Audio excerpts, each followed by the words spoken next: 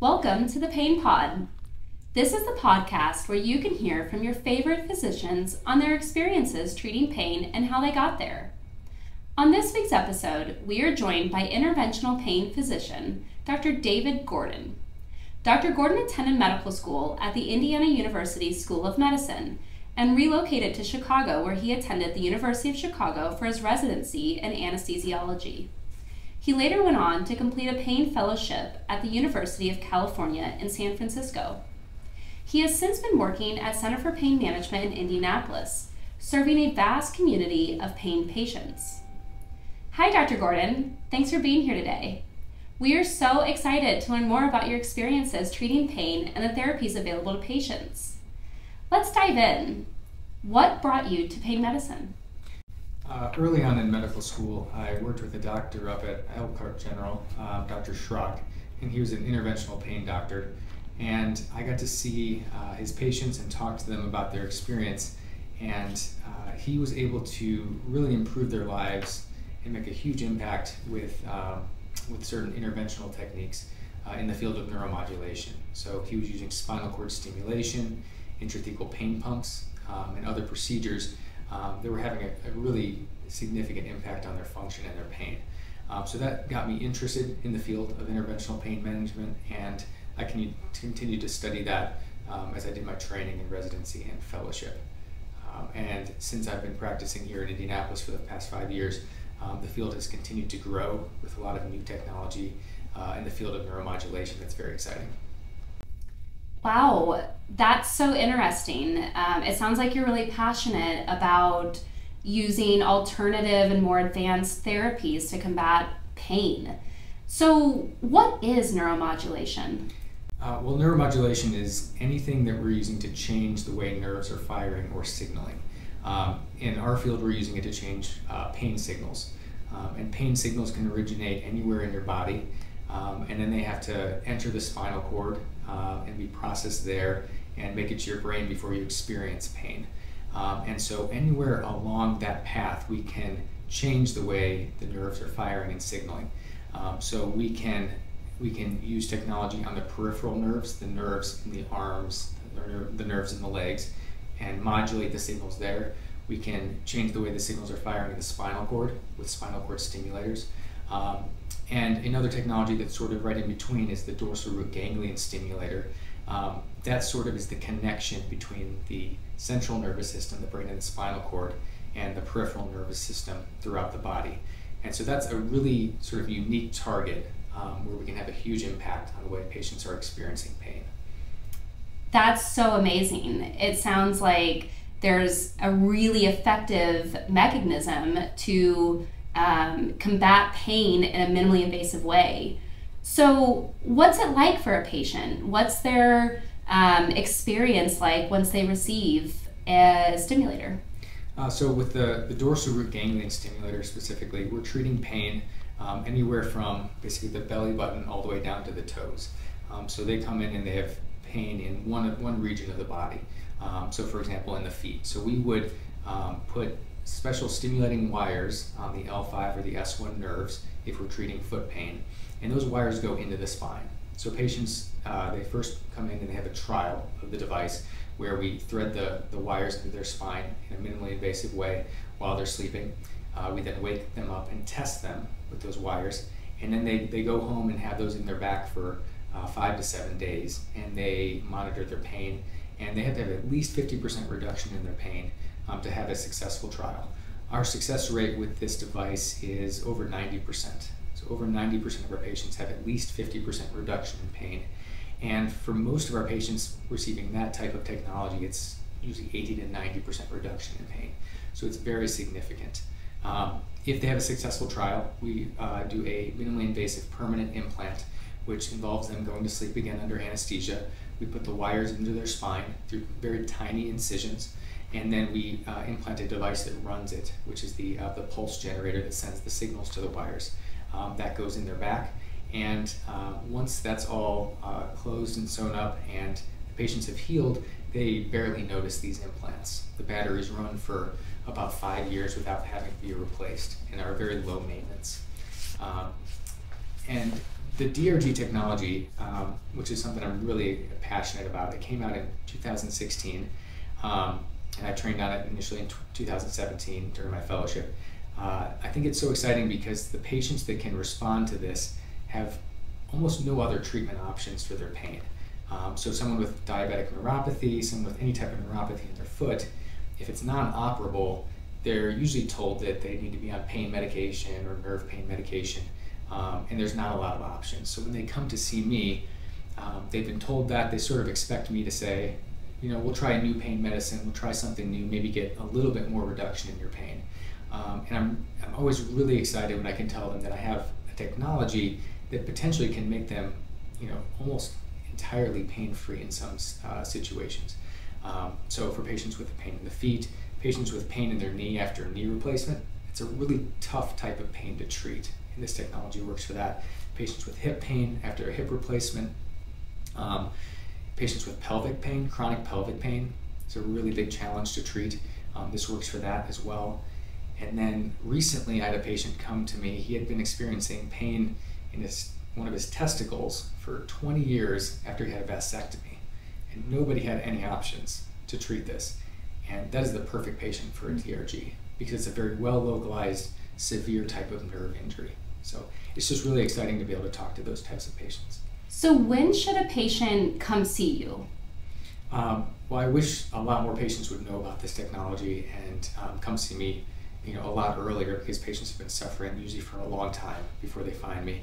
But if they have localized pain, um, so on you know in, in one or two joints um, in the lower extremities in their in their hips, their knees, their ankles or feet, um, if they have groin pain, um, really any pain after surgery um, in the lower extremities, anything below the belly button, um, that would be covered very well by this type of technology. but there are some other types of neuromodulation treatments we can do um, for the upper extremities and throughout the rest of the body, really from head to toe. There's usually a solution within that, the field of neuromodulation um, that can help patients in, in, a very significant way. So, neuromodulation sounds like there's um, it's always advancing. It's a field that's continuously improving the technology. How do you stay up to date on the latest advancements? Uh, the field has changed a lot, even since I finished my training five years ago. Um, the, the technology has continued to improve, and there's areas that we, we weren't even doing anything with five years ago. Uh, peripheral nerve stimulation really became a, a, lot bigger of a field five years ago. Um, and uh, that's a big part of my practice as well that has grown. So, anywhere there's a nerve throughout the entire body that is sensing pain or causing pain from an injury, um, we can put a, a minimally invasive wire stimulating electrode on that nerve and we can modulate that pain signal and reduce the amount of pain sensation patients are experiencing. So, um, for example, somebody with carpal tunnel syndrome, they have a nerve injury in their wrist. Um, usually, you'll get that surgically decompressed, but that doesn't always treat all the pain. And so, there's not a lot of options once you've completely decompressed a nerve if the nerve is still painful.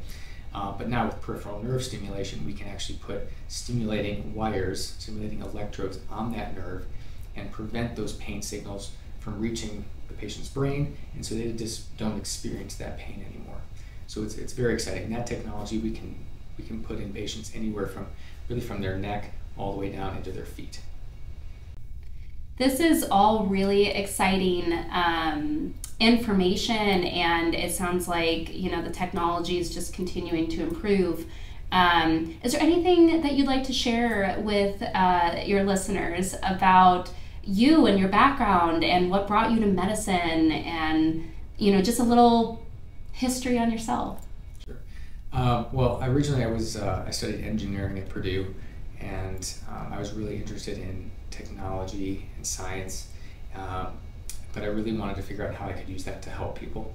And so that, that brought me into medicine and i've had a lot of great mentors along the way that have sort of shaped the way that uh, i practice now. And so uh, i think um, you know, my training in, in different areas in Indiana, in Chicago, in San Francisco, I've gotten a lot of different perspectives um, on how to treat pain, and I've tried to bring those back to, to my practice in Indiana.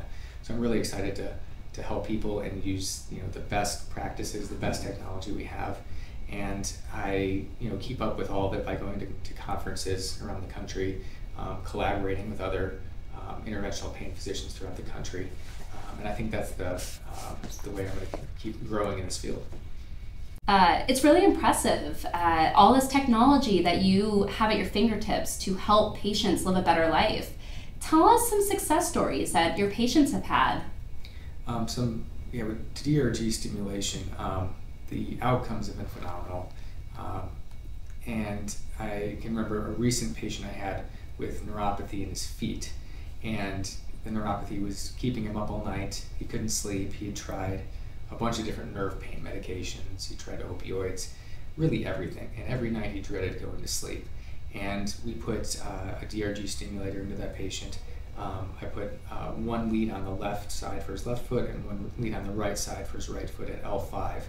Um, and he is at uh, about 90% pain relief. He's on almost no pain medication. He's extremely happy, and um, his life has been completely changed. And every time I see him, he brings that up and, and how grateful he is for that. Another example, another patient I had um, came in with chronic pain in his groin after he had a hernia repair. So we had that hernia repaired years ago. Um, the surgeon said everything went really well. As far as they could tell, everything was perfect with the hernia repair. But he has had significant sharp pain in his groin with a lot of different activity, and it's completely changed his life. Um, in terms of his uh, uh, his activity with his wife. Um, any any movement causes sharp pain there. He's also afraid of a lot of activities because of the pain. Um, but I put in a, a DRG stimulator at uh, the T12 and L1 nerves. Um, it was on the left side, and he's at nearly 100% relief. I think he says about 98% relief, and he, he can't believe it. And so those those are just some of the areas where we can uh, completely nearly completely eliminate pain signals from a localized area. And that always gets me excited when I have those types of patients.